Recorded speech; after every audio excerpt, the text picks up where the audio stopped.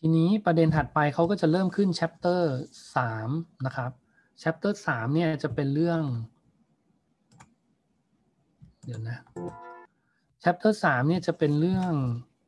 justice and human rights นะครับ เป็นเรื่องความยุติธรรมแล้วก็สิทธิมนุษยชนนะครับ อันนี้เขาจะเอา Forest Whitaker คือดาราผิวดำเมื่อกี้นะครับมาเป็นคนเดินเรื่อง วิทิเกอร์นี่เขาจะขึ้นมาพูดเรื่อง เรื่องไอการที่เรามีโควิด -19 เนี่ยเราจะกลับไปสู่ความเป็นปกติได้ยังไงนะครับ ความเป็นปกติเขาใช้คำว่า normality นะครับ แล้ว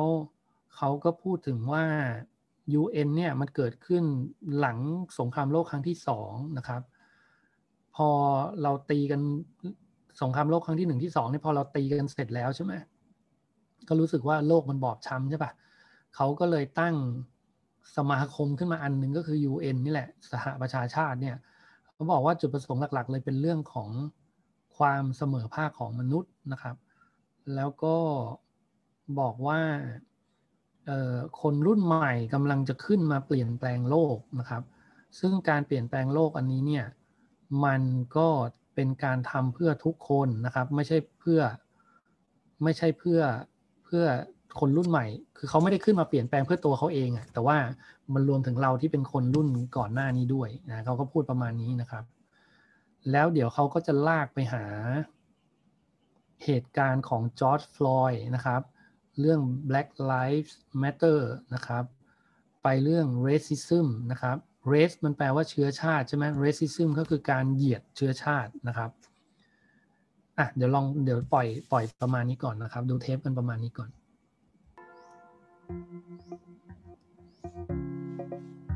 Whatever it is, coronavirus has made the mighty kneel and brought the world to a halt like nothing else could. Our minds are still racing back and forth, longing for a return to normality, trying to stitch our future to our past, and refusing to acknowledge the rupture. But the rupture exists. And in the midst of this terrible despair, it offers us a chance to rethink the doomsday machine we have built for ourselves. Nothing could be worse than a return to normality. Historically, pandemics have forced humans to break with the past and imagine the world anew. This one is no different. It's a portal, a gateway between one world and the next. We could choose to walk through it, dragging the carcasses of our prejudice and hatred, our avarice, our data banks, and dead ideas. Or we can walk through it lightly, with little luggage, ready to imagine another world and ready to fight for it.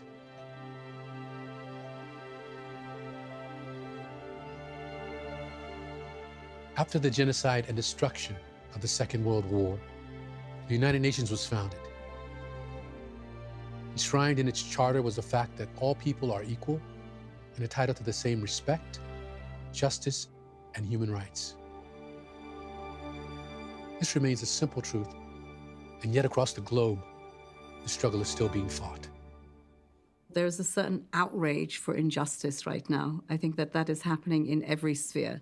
I think we're at a moment where COVID perhaps has helped us realize that there is an intergenerational transition and that young people now are waking up to the calls that we've had from my generation, which have said, look, this is the opportunity you've got to make things change. I mean, they are rising up, and that we are bringing young people to the table now, not as a token, but to help us shape and to take that baton, to take up the gauntlet, and to move forward. People fighting for justice, but fighting for your justice, not just mine. And, and to see that without your justice, mine won't be fulfilled either. โอเคแม่ฟังรู้เรื่องไหมเนี่ย คนนี้ไม่รู้อ่านทันหรือเปล่าเขาแนะนำว่าคนนี้เป็นรองเลขา UN เนาะเลขา UN เราเห็นไปแล้วใช่ไหมคนผู้ชายเมื่อกี้คนนี้เป็นรอง ก็นั่นแหละเขาบอกว่าความยุติธรรมมันไม่ใช่อะไรนะ ไม่ใช่เพื่อคนรุ่นรุ่นเปลี่ยนผ่านเท่านั้นนะแต่ว่าเอ่อถ้าเขาได้ถ้าเขาไม่ได้ความยุติธรรมก็ก็เราก็ไม่ได้เหมือนกันนะคือ คือความยุติธรรมมันต้องทั่วถึงกันทุกคนนะ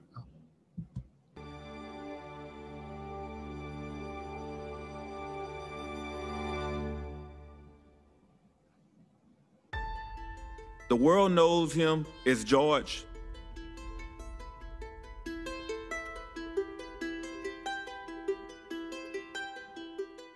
But I called him Perry. Yesterday we laid him to rest. It was the hardest thing I ever had to do. I'm the big brother now. So it's my job to comfort my brothers and my sisters,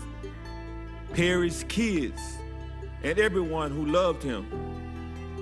And that's a lot of people. I couldn't take care of George that day he was killed, but I can make sure that his death would not be in vain. To make sure that he is more than another face on a t shirt,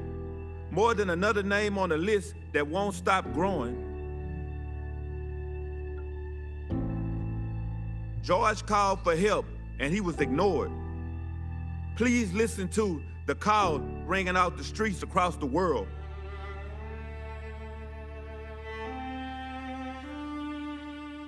People of all backgrounds, genders, and races have come together to demand change. The people marching in the streets are telling you enough is enough.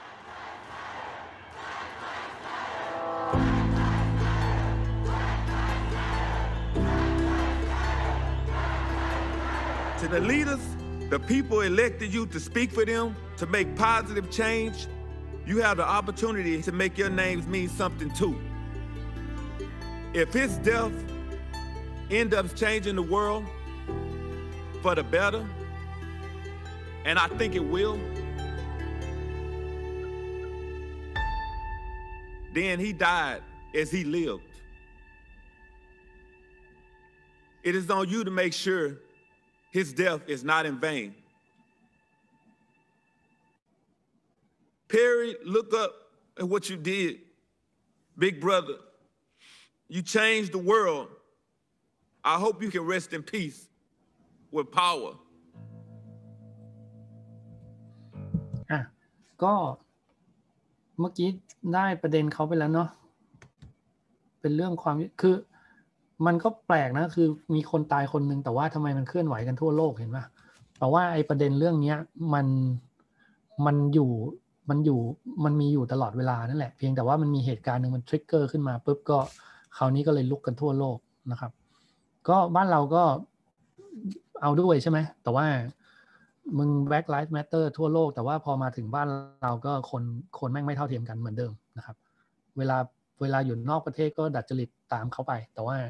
พอเป็นประเทศตัวเองก็คนไม่เท่ากันเหมือนเดิมนะครับนึกออกไหมเนี่ย มันจะมีคนบางพวกที่เป็นแบบดัดจริตอะตามเขาไป แต่ว่าพอมาถึงตรงนี้ก็เอ้ย วัคซีนฉันต้องได้ก่อนเธอสิอะไรแบบนี้มันจะมีคนประเภทนี้อยู่นะครับ โอเคเนาะ